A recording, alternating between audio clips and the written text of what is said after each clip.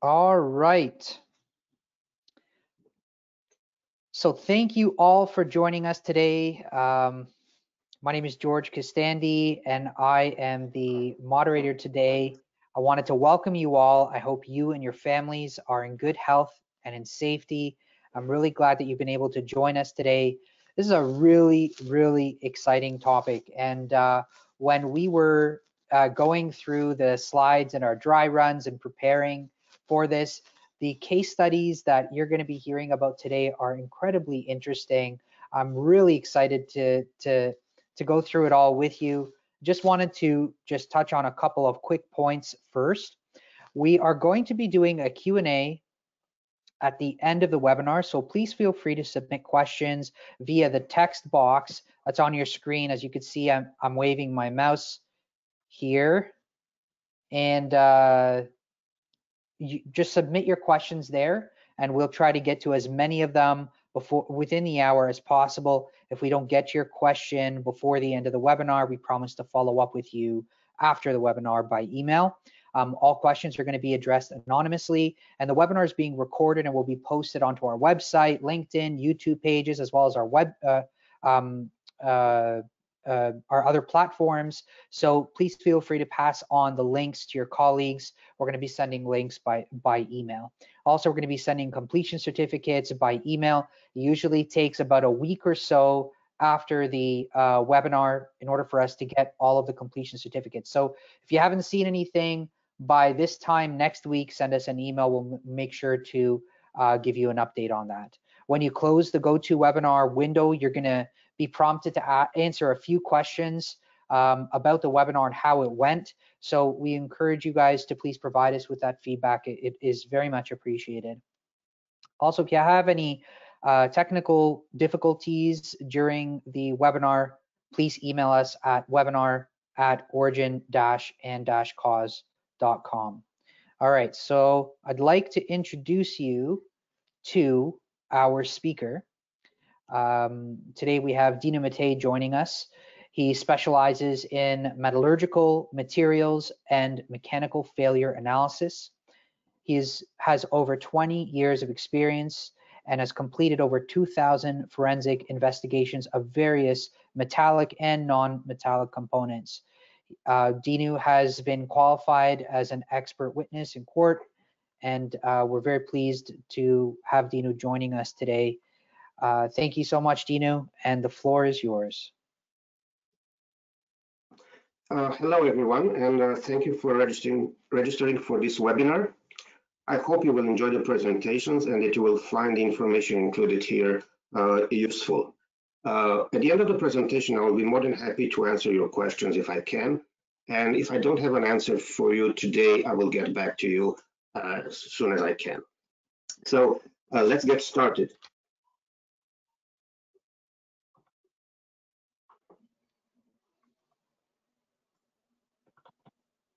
I have a little difficulty here with the pages. I apologize for this.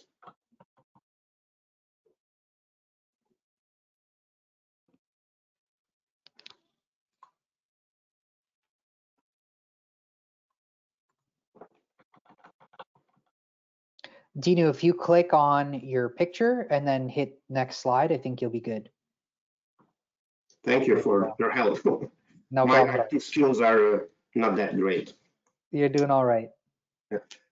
Uh, personal injuries. Uh, the sad truth about those uh, personal injuries is that they are happening on a daily basis and they also have a long-lasting effect not only on the injured party but also on his or her family.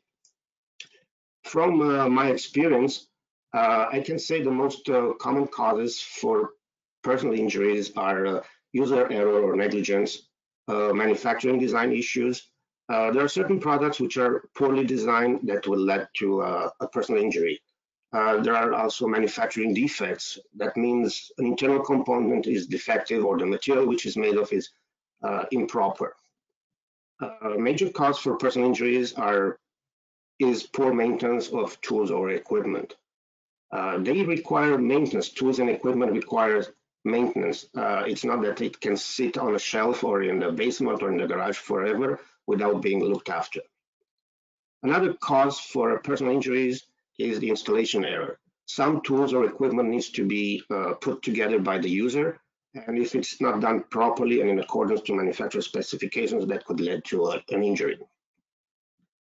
The diversity of personal injury claims is huge. Um, I cannot cover but only a small fractions of those. And uh, personal injuries are always complex and uh, challenging investigations. How forensic engineer can assist you uh, in personal injury claims. We gather the background information uh, and uh, analyze the, the data available. We put together a testing protocol to uh, conduct examinations or joint examinations or analysis. We review the results of the examinations. We review opposing expert reports, and we make suggestions for uh, further work uh, if needed. We separate facts from opinions. Following our investigations, we discuss with our client, and uh, although we don't offer legal advice, uh, our analysis can help you uh, to expose liable parties and formulate a sound strategy in administering the claim. As I mentioned earlier, uh, the list of uh, personal injuries is rather large. I'm going through briefly uh, some of the ones that we encountered throughout the years. Um, Every rotating equipment contains bearings. Bearings fail as the result of improper maintenance. And if overheat, they, they can catch fire. Axles, drive shafts, again, these are moving uh, equipments or machines. If they break, uh, they can lead to accidents. Wheels that came, out, came off, uh, conveyor belts, wind turbines or solar panels, when they fail, either due to wind or a manufacturing problem, uh, flying debris can uh, hit person uh, nearby. We examine hoist and lifting devices, even tarps, although they sound so domestic, if I can say, those little grommets that keep the tarp together can fly and cause uh, injury to people who are not uh, operating them properly or if the tarp is defective. We looked into food processing, processing equipment, and uh, we also looked at an elevator door, door lock, uh, which malfunctioned, and uh, the person entering the, the lift wasn't in the impression that the lift is at that level and it actually two, was two floors down, so that person fell through the shaft.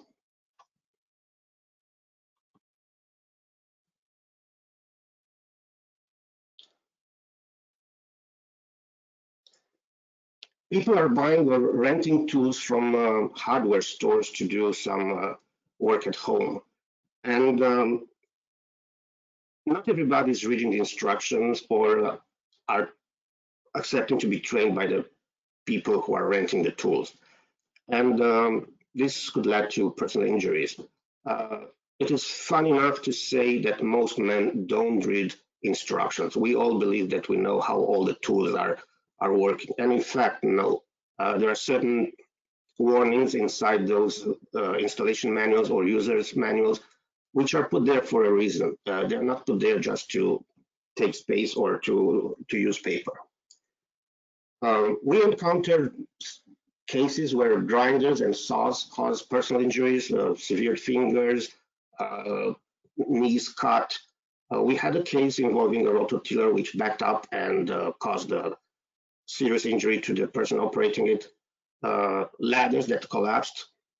We even looked at uh, roof anchors. Roof anchors are the anchors used by uh, roofers where they can attach their harness equipment. And if those roof anchors fail, then the uh, worker could fall to the, the, the, ground. And one interesting case is uh, a commercial paper cutter, which is not a tool, it's a, a piece of equipment, where a 25 kilograms blade uh, came down without warning and severed the user's uh, fingers.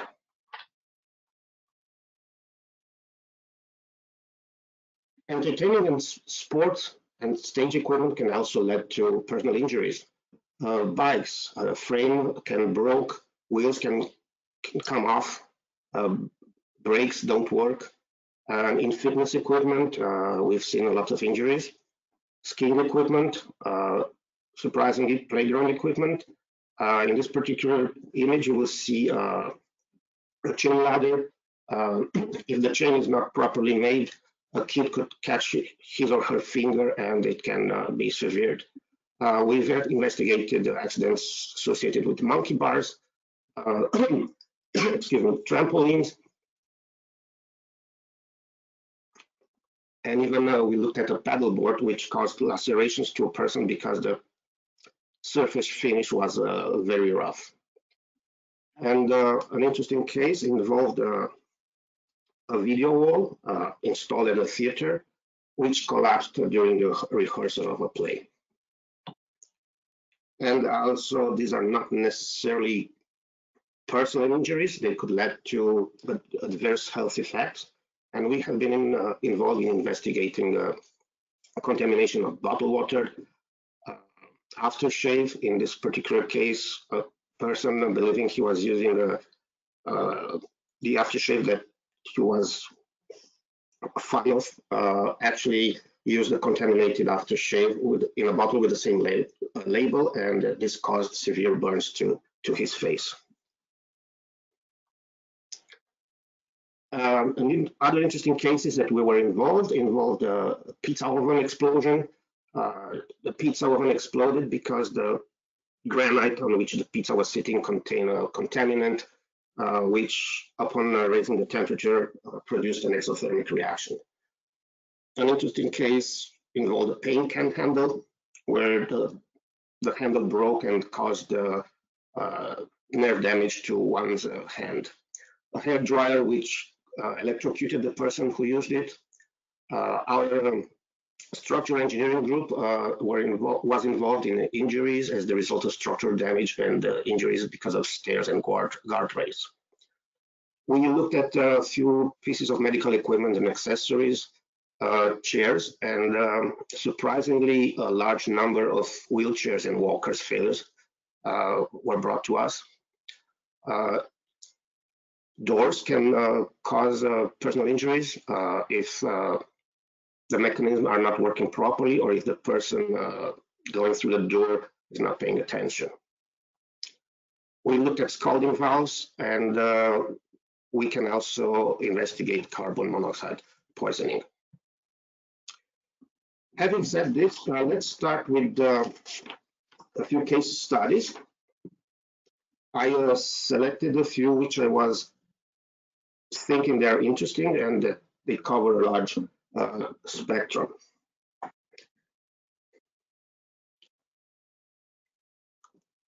This uh, wheelchair that you see in the left side of the screen was involved in an, an accident. The person who rode it, it was uh, riding it uh, on the street, and all of a sudden uh, he lost control of the wheelchair, which started to catch up speed, and uh, there was no response. He panicked. Uh, so during the panic, the the joystick which uh, operates the, the wheelchair came off, and as the result, he lost completely control of the wheelchair, which uh, tumbled over and uh, landed on top of him we received the wheelchair for uh, examination. We tested it in our laboratory. We compared it with an exemplar, and we did not find anything abnormal about it. Uh, it was well maintained by the user. However, we noticed that the knob from the joystick uh, exhibit a, a, big, big manufacturing uh, design issue. Uh, the knob was not secured in any way to the shaft. Uh, there was no evidence of uh, uh set screw or evidence of Loctite to ensure that the knob stays in place. The conclusion of our examination was that uh, the incident was possible to uh, design deficiency. And later on, we found out that uh, the user lost control of the wheelchair because he was riding it near a radio station. And uh, electromagnetic field created by the radio, radio waves interfered with the electrical motor of the, the wheelchair.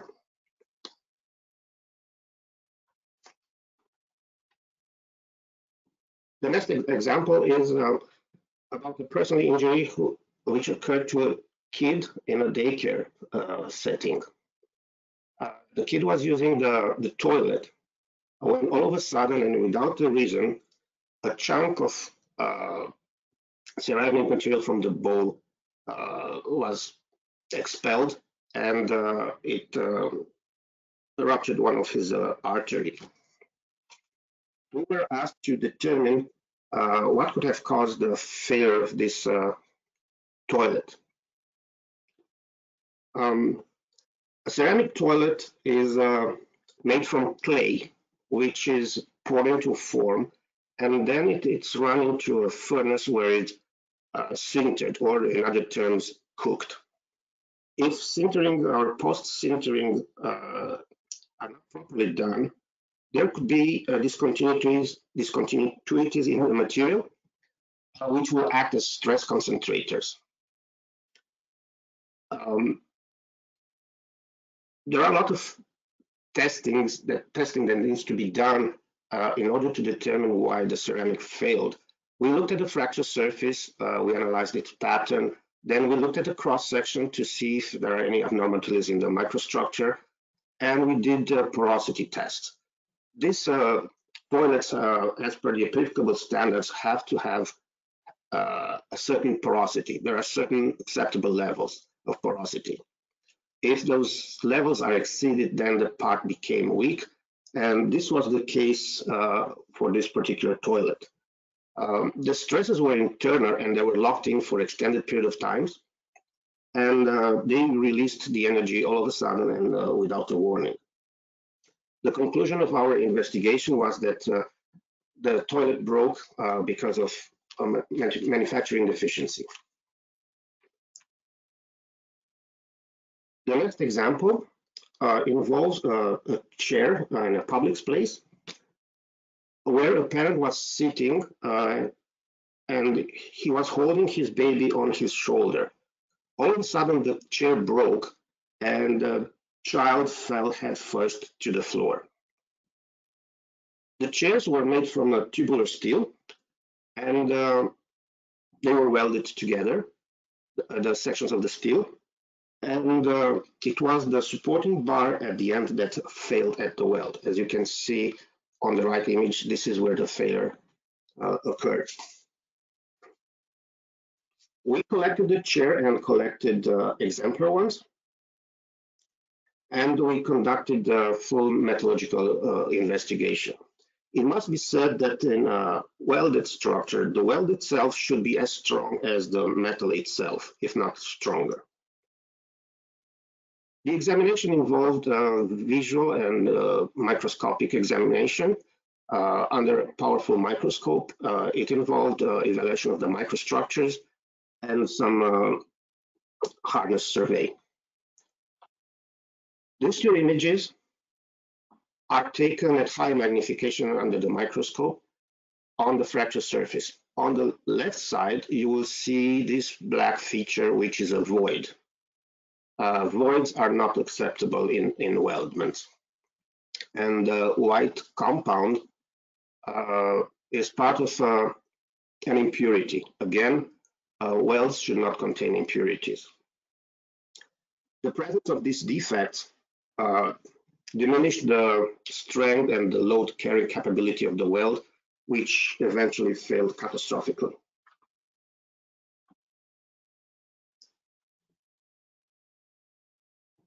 This example involves uh, the examinations of a fractured tie rod.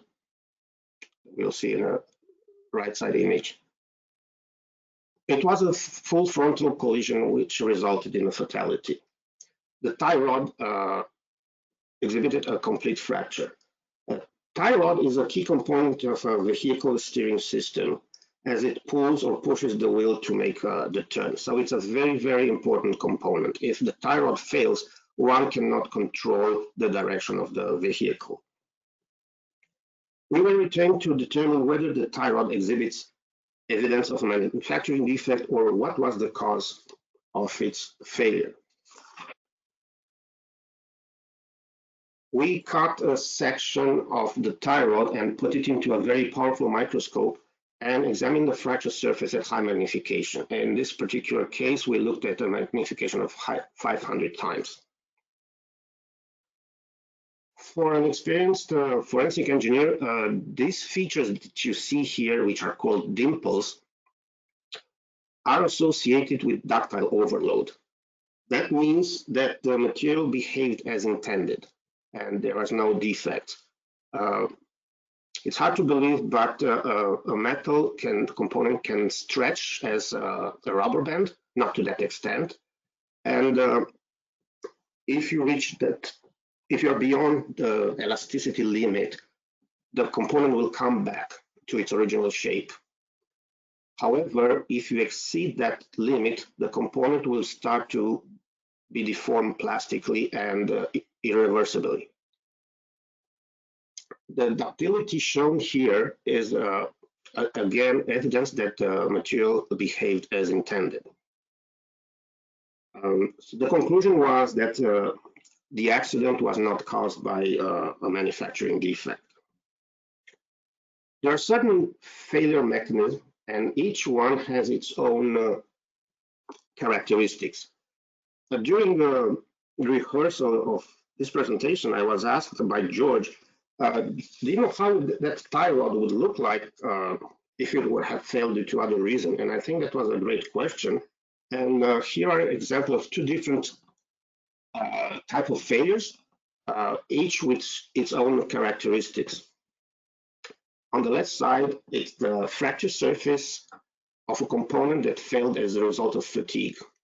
Uh, fatigue is a, a, failure which occurred progressively over time due to the presence of cyclic stresses. And under microscope, each jump into the fracture leaves those marks which are called striations. They are typical for uh, fatigue failure mode. The middle image shows what we call an intergranular fracture. This is a brittle fracture and it occurs at the grain boundaries. Each material is made of grains which are uh, which stick together.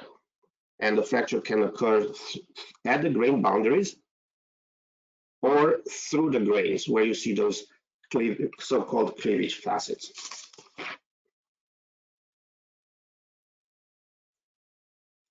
This example is about uh, a bike uh, which uh, ruptured in two while it was uh, used by a, a kid. Uh, because of the rupture of the frame, the kid was thrown over the handlebars, handed head first on the asphalt and sustained severe injuries. We looked at the fractured bike and we saw that the fracture occurred uh, in a, at a structural weld and uh, we took a sample and we analyzed it uh, and examined in our lab. On the left side, uh, you will see overall view of one of the mating fracture surfaces. We observed that it is flat and that's raised a, a red flag. And upon uh, looking under the powerful microscope, we observe those striations which, as I mentioned earlier, are clear evidence of fatigue failure mode. By conducting further metallurgical evaluation of the microstructure, we determined that uh, the failure was the result of an improperly made a weld, or in other words, the result of a manufacturing deficiency.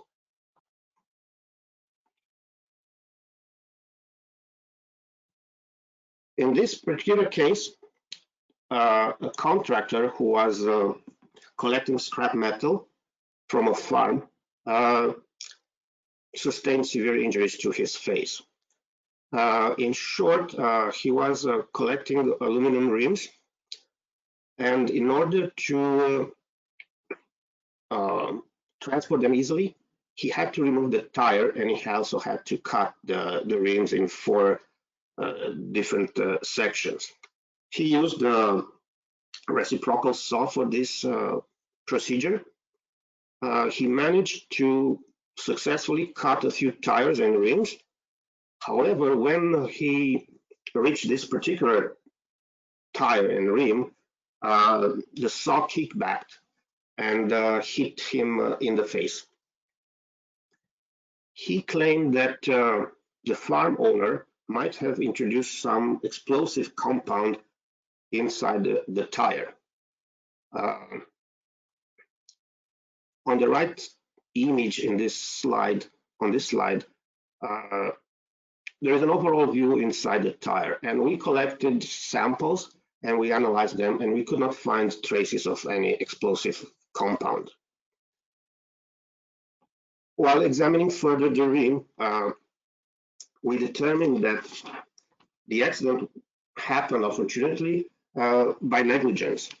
In other words, uh, the contractor was using the saw to cut through a soft metal, the, the tire, and he did not adapt the cutting uh, position and speed uh, when he reached the rim.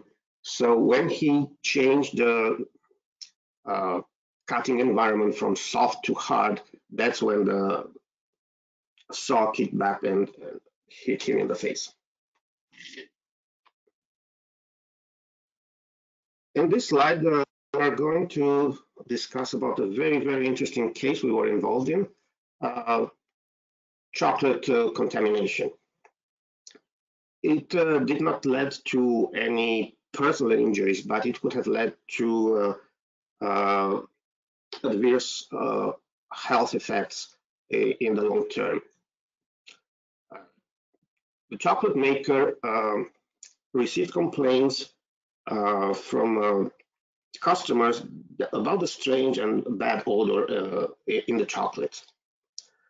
And the number of complaints grew and grew. Uh, luckily, nobody uh, suffered any injury as the result. This was just uh, an inconvenience and loss of business for the chocolate maker. We were requested to look into this case and determine what could have caused chocolate to change its odor because the maker did not change the recipe, did not change the ingredients. They followed the same recipe as they used for, for many years. Um, it is interesting to know that chocolate is the strongest odor absorber uh, material. If you put a, a piece of chocolate uh, side by side with a, cut onion in the fridge, the next day you will end up with an onion flavored uh, chocolate. We received uh, a few boxes of chocolate and we also received uh, a few samples of the uh, packaging that uh, was used for chocolate, along with some um, chocolate boxes from a different batch. The packaging is made of cardboard, uh, which is pliable, and it's provided with the window, and the window is uh, covered with a, a, rectangular piece of cellophane, which is glued on the inside of the box. We conducted comparative chemical analysis of the cardboard, cellophane, and glue, and uh, we find out found out that uh, the glue is not one of the glues uh, that is uh, certified for food industry. Somehow the maker of the boxes ran out of glue or changed suppliers and switched to a different type of glue, which was not certified for this particular application. And therefore, uh, the chocolate started to absorb uh, odors and become uh, glue flavored chocolate, if I can say. As I mentioned earlier, there are a lot of accidents uh, involving walkers and uh, wheelchairs. In this particular case, an elderly woman was using the walker and uh, which all of a sudden broke. Uh, she fell to the ground and suffered uh, injuries to her hip. We were requested to look into what could have caused the failure of the walker. And you can see on the right side, that it was a portion of the uh, frame that broke off.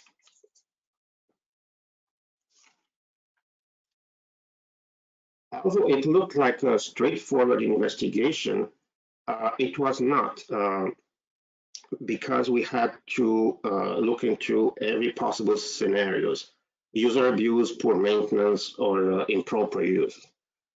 Um, we looked at the fracture surface and uh, as you can see, uh, there are large voids throughout. The presence of voids in a mold material uh, is uh, not desirable as it will uh, reduce the strength of the component and its loading carrying capabilities. So this is exactly what happened here. Uh, during normal usage, uh, the frame simply uh, gave way and fractured.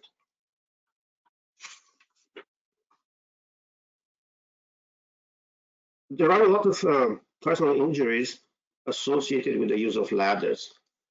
Most of the time, the accidents are caused by the fact that the user is not using the ladder properly. He is descending, uh, not facing the ladder, or uh, not opening the ladder enough, or putting on an uneven surface. But oftentimes, those accidents can happen because of a manufacturing problem. In this particular case, uh, we were asked to look at a folded folding uh, ladder which was used by a roofer. Upon descending from the roof, one of the hinges, which is, you can see it on the right side image, simply broke. And as a result, the roofer fell to the ground and sustained injuries that left him paralyzed from uh, waist down. We were retained to determine what could have caused the fracture of the, the hinge.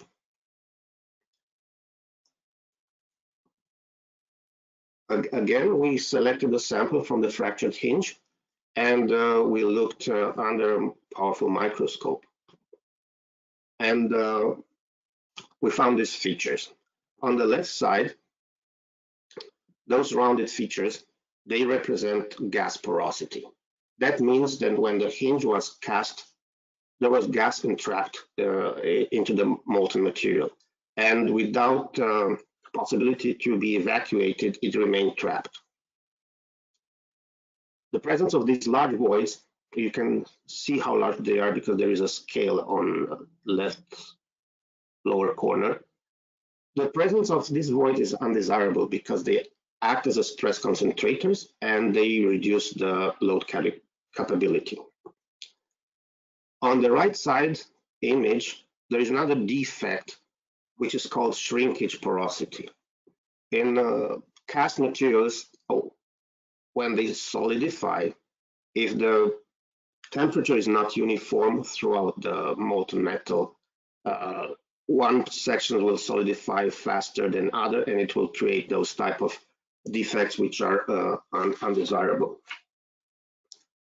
The conclusion of our investigation was that the accident was possible due to a manufacturing uh, defect in most of the examples that I presented so far, uh, I mentioned uh, examination. Um, it must be said that these were joint examinations and involved uh, interested parties uh, like the installers, uh, manufacturers, distributors. Uh, all these examinations were destructive in nature, and we had to select and cut a smaller sample to be manageable for lab examination.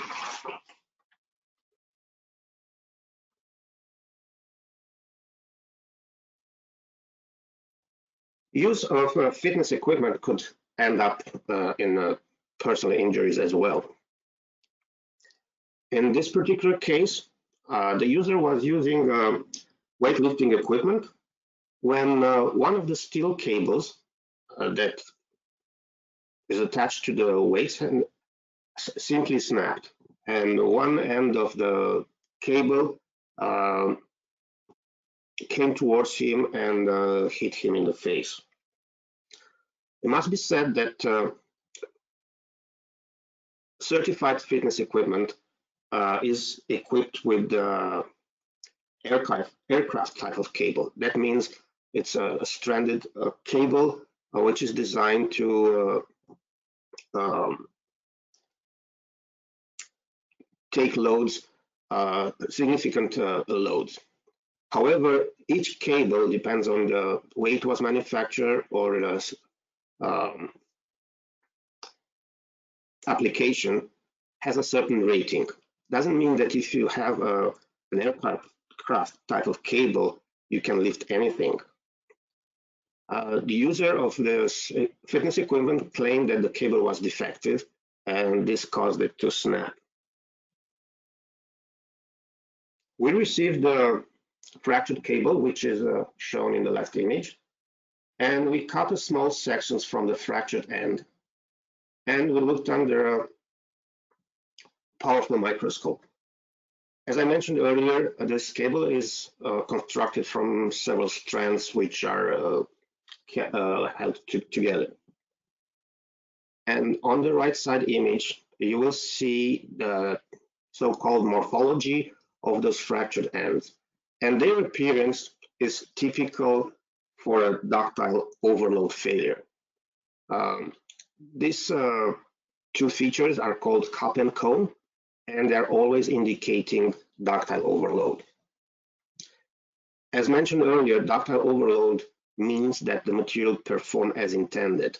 So it performed well until uh, its limitation was reached. If more stress is added, then the cable will not uh, held and they will fracture in this uh, ductile mode. Our conclusion uh, following this investigation was that uh, it was uh, the accident was caused by user abuse. Uh, he was putting more weights than uh, the fitness equipment uh, permitted, and this caused additional stress in the cable with the results of uh, snapping.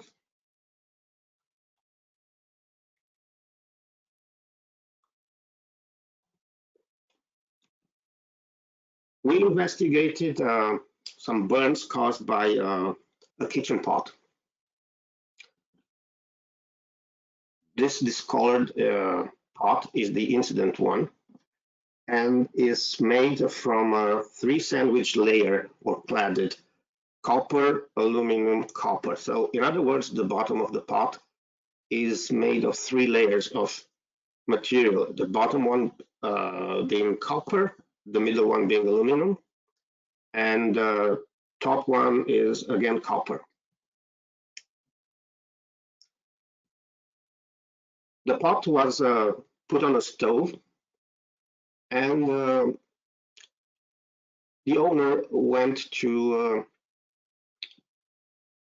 talk on the phone and she simply forgot about the water left to boil. And when the heat has nowhere to dissipate in the, in the fluid to be heated, it started to uh, get into the bottom of the, of the pot. And uh, the pots are not designed to be heated dry for this particular reason. And because aluminum has a lower melting temperature, it's about 600 degrees Celsius, it started to melt and uh, molten particles were spewing out. And when the owner tried to uh, remove it, uh, she was hit in, in the chest and upper legs by those uh, flying particles.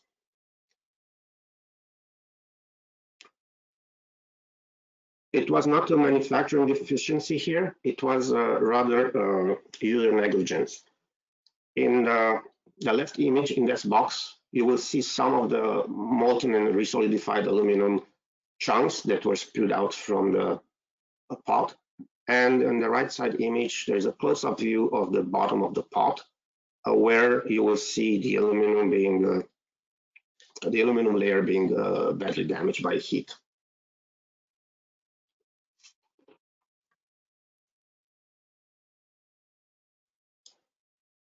This is an unfortunate incident which happened a, at a dentist office. Uh, during a routine dental procedure, uh, the articulated arm of a dentist chair broke off and landed on the patient's head, causing uh, severe injuries. The collapsed lamp is shown in the left side image, and the uh, area where the articulated arm broke is shown by the cursor in the same image. We examined the fractured arm and we found out that the collapse was the result of a fractured hinge, which is shown in the right side image. And you will see the fractured surface runs through a threaded hole, which is um, a stress concentrator and a weak area. Upon further examination of the fracture surface under the microscope, it was determined that the hinge failed by fatigue due to an improper uh, fastener that was used. Well, in other, in other words, uh, during uh, some maintenance procedure, uh, the contractor or the technician uh, replaced the fastener with uh, one that was improper. And uh, because of fluctuating stresses like lifting the lamp, repositioning, it was subjected to cycle stresses over time. And in the end, it failed as the result of fatigue. Our firm was involved uh, in um, carbon monoxide poisoning, and um, carbon monoxide poisoning can occur, but is not limited to the following situations: uh, improper gas appliances installation, uh, lack of gas appliances, uh, maintenance inspection, defective gas appliances, or blocked chimney flutes, or uh, by vehicle exhaust, like running a car engine in an enclosed space, or uh, having exhaust ga gases coming into the car because of a maintenance issue.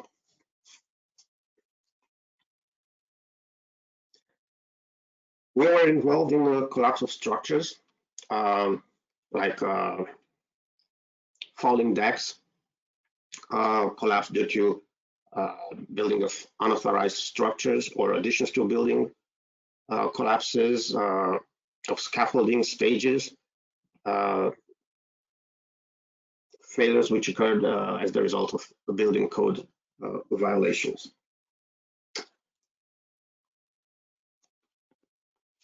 This concludes my uh, short presentation about uh, personal injuries and how we can assist you should you be involved in uh, such an investigation.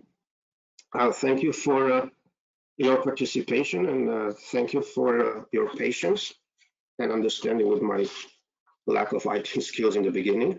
Um, if you thank you, Dino. If you have any questions, I'll be more than uh, happy to to answer if I can. Yes, so we see we see questions coming in, guys. Uh, if you don't mind, you can submit questions in, on the uh, the taskbar there in the GoToWebinar console. Um, I do have a question coming in saying, in the example with the cable break uh, with the weights, how did you determine that the user used weights higher than the limit? That's a very good question. Um, if the user would have used the weights uh, allowed by the equipment, the cable would have not break. The, the examination clearly indicated that uh, the strands broke as the result of ductile overload, which again means that the material performed as intended. The only plausible explanation for the cable to break is that uh, its strength was exceeded by putting more weight than it was supposed to withstand. Yes.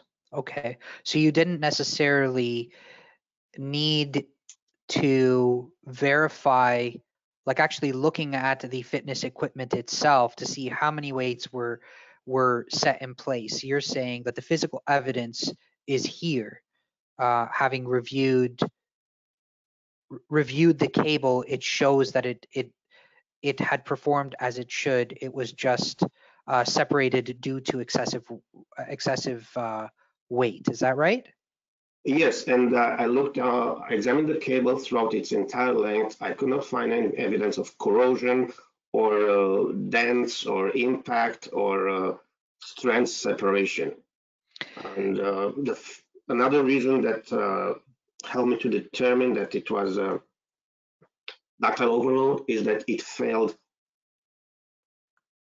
at the ear, which is uh, the area that is uh, the weakest uh, because uh, the cable runs through this crimp and uh, it fractured at the interface between the crimp and the, the cable.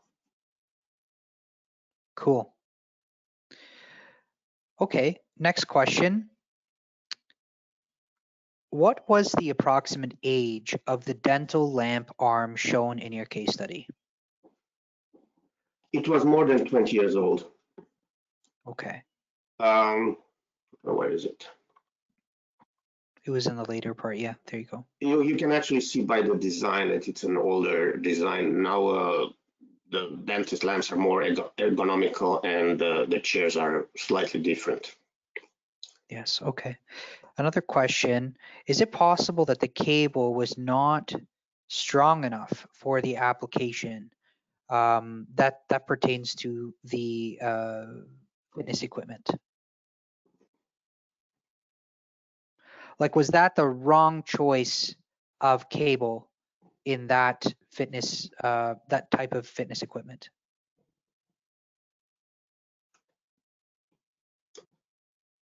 We looked uh, into the rating of that cable. This was an old file. Uh, I don't remember exactly what was it rated for, uh, but it was fit for the application.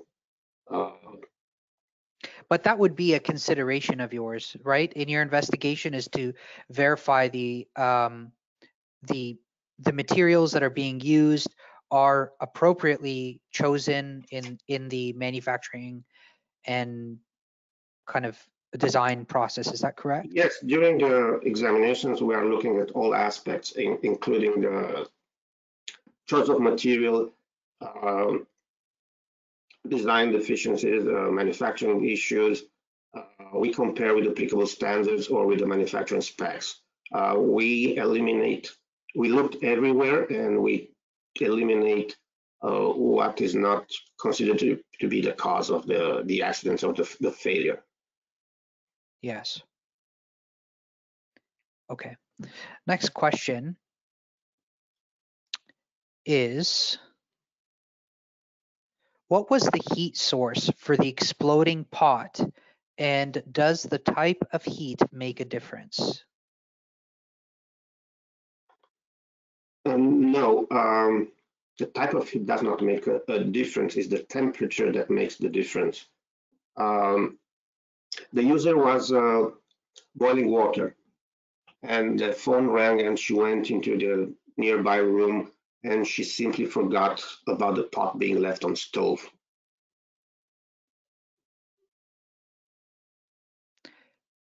Yes. Okay, so so the the source of the heat was just the stove. The stove, yes, it was Yes. a gas-powered stove. But the same Okay. thing would have happened uh, on a electrical stove. Again, Okay. it's the temperature, it's not the the source that caused the caused this incident. Okay. Next question. In the case of the dentist lamp, was the maintenance contractor sued? Oftentimes, we don't know the outcome. Uh, I honestly, I don't, I cannot offer an answer to that. A problem, Yes. um, and oftentimes, uh, those legal actions are started later. Uh, at the onset, uh, the the the injured person uh, might want to wait a little longer to see if the health effects are uh, long term or if there are any additional uh, effects on uh, on their health. But to answer this question, um, after we submitted the report, uh, there were no other party on the table, at least at our table. So uh, usually when um, there's no further joint examination with other party, is either that the matter was settled or the, the opposing party accepted liability. But again, in this particular case, I cannot offer you an answer. Yeah, I think it's it's actually a really great question because it actually highlights kind of um, where your job starts and ends. Um, when it comes to who gets sued and who gets pursued, that is um, the legal part of a liability claim, right? So the adjuster, the examiner is typically taking care of the administration of a claim. The lawyer will, or the legal team will be actioning anything that requires the law or liability or or or negligence these are all legal terms that require a legal expert to to to execute those portions of the claim but then the forensic expert has to stay in their lane has to stick to the facts of the incident and the physical evidence is is is that right uh, Dinu? Yes, so we have our own specialties. Adjusters are adjusters, lawyers are lawyers, and we are engineers. But together as a as a team, uh, we can uh, work on uh, all sorts of claims, including personal injury ones. Yes, and, so uh, you can. Sorry, go ahead. No, sorry, I'm, I'm listening. I was just going to say, so you know, you can you can advise the cause of the incident and perhaps who the interested parties are but when it comes to the legal action and the legal strategy, that's something that's outside of typically your scope. Is is that yes, right? Yes. Um, coming back to the dental chair failure. Um, our examinations indicated that uh, the failure occurred as the result of fatigue. But if I provide only this opinion, I don't think it will help the client further. They would want to know what caused this type of fatigue. How was it possible? And uh, that's the kind of advice that we can offer, not legal ones. And I have another example involving a, a scalding accident, uh, which ended up with a fatality, unfortunately. Um, it was um,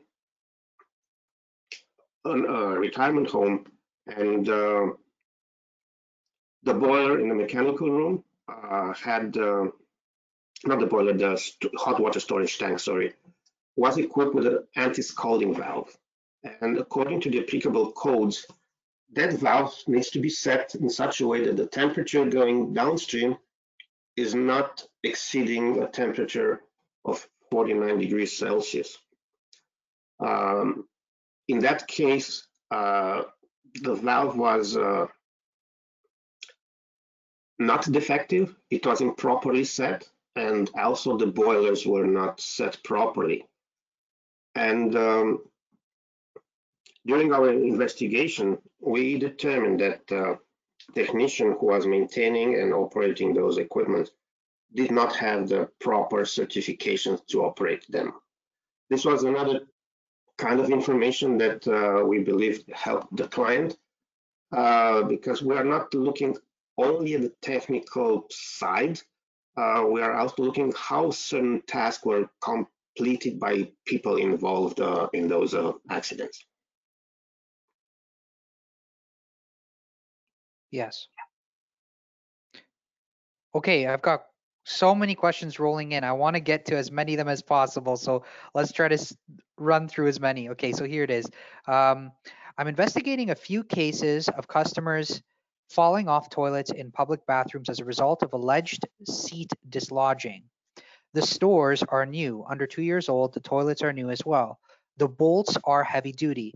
Is it possible to rem- sorry, it is po- impossible to remove the seat without applying excessive force. The logical conclusion is that someone maliciously removed them. Have you come across any incidents of this nature in the past, and do you have any concerns or suggestions in investigating such incidents? So, George, can you repeat again the first uh, portion of the yes. question? What was the background? So, it, were falling?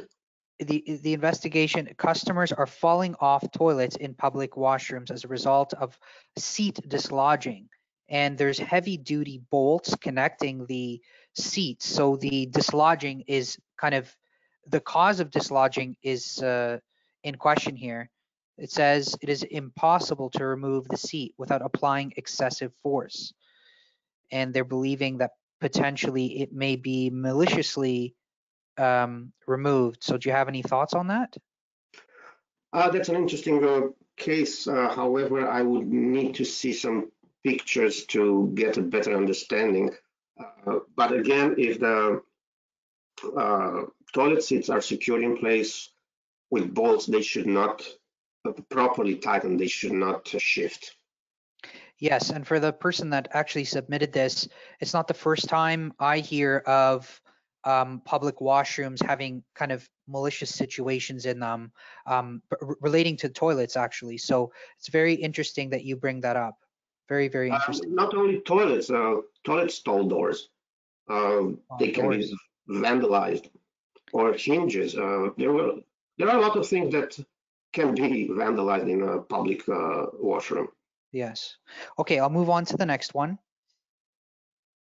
In the course, sorry, in the course of the work you perform, how common is it that you find the cause of a failure event as a result of the product not being used as intended, or inferior parts are being used in place of the proper parts?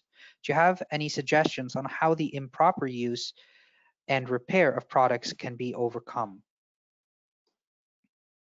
So do you, uh, just to start it off, do you find that it's common, how common is it that you find the cause of a failure event as a result of the product not being used as intended? It's a large percentage of the investigations that I was involved in. Um, as I mentioned earlier, people are buying or renting tools without being familiar with them. Uh, this is when uh, grinders are cutting fingers. Um, I had a an interesting case involving a kick toe saw. These are special saws designed to cut um, the floor around islands, like a kitchen island. And um, they are very powerful. Um, and um, that particular model came with the clear instructions how to use and what not to do and that particular person was kneeling down and he was cutting the floor and because he was not using it properly he had his knees cut we uh, tried to cut in a similar uh, setting and we show that using the same tool uh, it operates as intended uh, in, earlier in the presentation i mentioned that uh, rototiller uh, rototillers are very very powerful machines. Uh, although it, it, says only five horsepower, that's a lot. It's like five horses, basically. And uh, they are intended to be used forward only. You, you're not uh, supposed to go backwards. Um, and in that particular case, the, the user went backwards. Probably he was close to a, a wall or a, a fence. So rather than rotating the rototiller, he uh, went backwards and uh, he, he lost um, equilibrium and fell and the rototiller went right over him. Uh, it was a typical example of uh, improper use.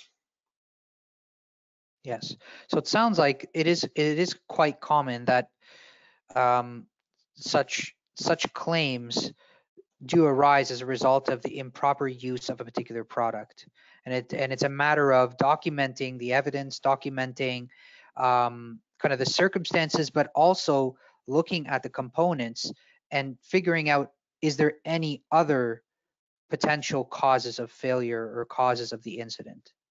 Um, I was very brief on all my slides, uh, but every investigation that is present was presented here, it was a complex uh, one, and uh, uh we, we looked at every aspect uh, on each particular situation um, to to obtain as much information as possible um, to run the proper testing or analysis uh, to review uh, information available like instructions manuals uh, and we were trying to uh, separate opinions from facts and this is a a lengthy process and we don't want to left any rock uh, un unturned.